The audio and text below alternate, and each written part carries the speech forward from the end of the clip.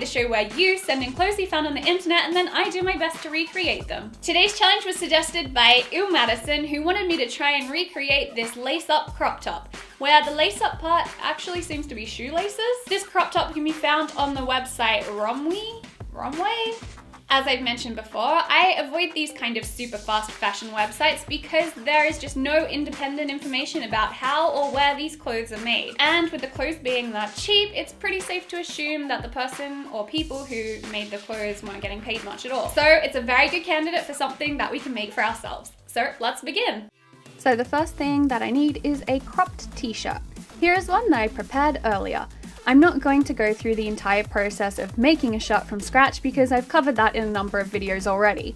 Watch this video if you want to learn how to make a t-shirt for yourself or this one if you want to make a crop top out of a t-shirt you already own. Of course, you don't have to make one from scratch, you can use any crop t-shirt you already own or find at the thrift shop. The second thing that I need is eyelets. I recently got myself this new pack of eyelets with an eyelet plier because I haven't had such an amazing success with eyelet tools like the ones I used in this episode of Make Thrift Buy. This is the first time I've ever used one of these eyelet pliers, so fingers crossed it works.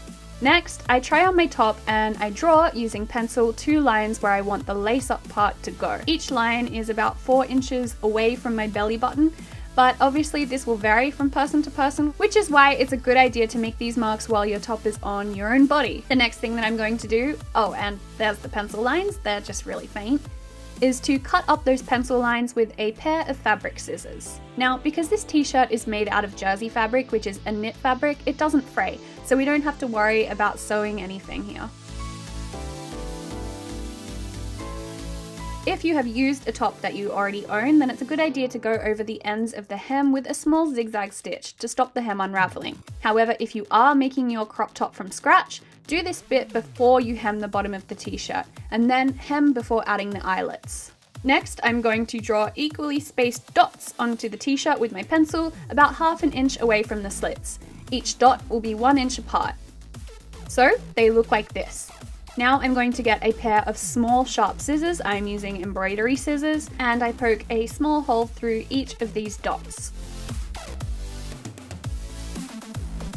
Now, your own eyelet kit might work slightly differently, so read the instructions on your own kit, but what I do next is to push an eyelet through this small hole with the flat, rounded side facing up.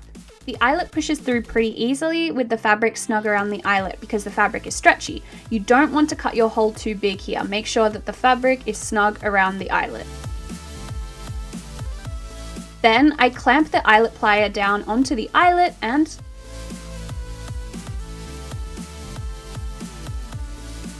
Well, that was easy. The eyelet is now in the fabric. Awesome! I definitely recommend getting one of these if you're going to be using eyelets in craft projects more than once. I repeated this process for all the other small holes until I had done all 12. And then I decided that the laces would look better if I had one more set of holes, so I simply cut up the slit another inch and I added four more in the same way as the others. And now I'm going to need some shoelaces. Hmm. Well, I didn't have any new shoelaces on hand, so I went and borrowed some from my partner's running shoes. And don't worry, I ordered some more. He'll never even notice that they were gone. Then I pretty much just laced up the shoelaces through the eyelets exactly like how you'd lace up a shoe. So I went through the top two eyelets first, then underneath and up through the opposite eyelet, and continued that through all the eyelets, and then tied it off in a bow at the end. And just a side note, I was worried that the underside of these eyelets would stab me when I was wearing the top because they're not totally flat once installed, they have these slightly spiky edges, but adding in the shoelaces totally prevents any contact of the eyelets with the skin, so that was absolutely okay. So now the real question is, how did I go?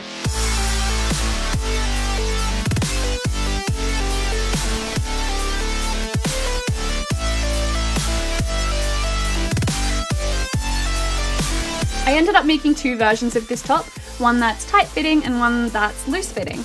I actually really like how both turned out, but they both definitely give a different kind of look.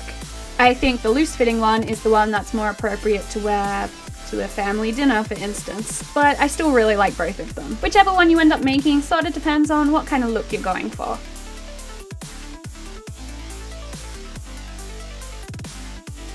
So my conclusion is make!